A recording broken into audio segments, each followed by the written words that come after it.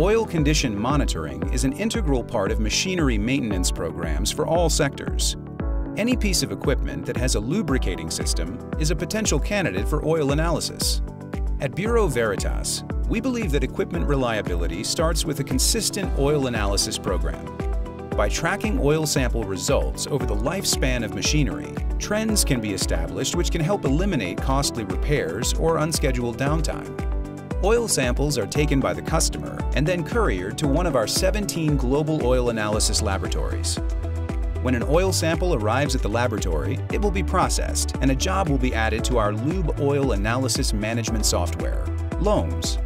Our highly skilled chemists subject a typical oil sample to 24 standard tests, and 98% of samples are turned around within 24 hours. Customers can also choose tailored packages to meet their specific needs. Once all the tests are complete, the data is fed into an extremely powerful artificial intelligence system that we call Charles, named after one of our most experienced senior data analysts. Charles uses cutting-edge machine learning software and learns from our extensive historic data set, which allows it to predict the severity and recommendations for new samples. With the efficiency that Charles brings, our data analysts are now able to spend considerably more time and attention investigating the abnormal and critical samples that are of most importance to our customers.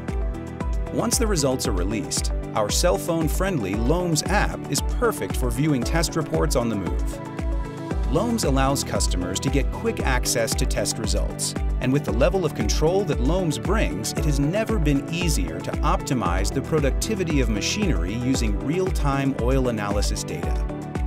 Each test report brings clarity to complex test results so that customers can take immediate and decisive maintenance actions that save money and prevent equipment failure. Bureau Veritas Oil Analysis.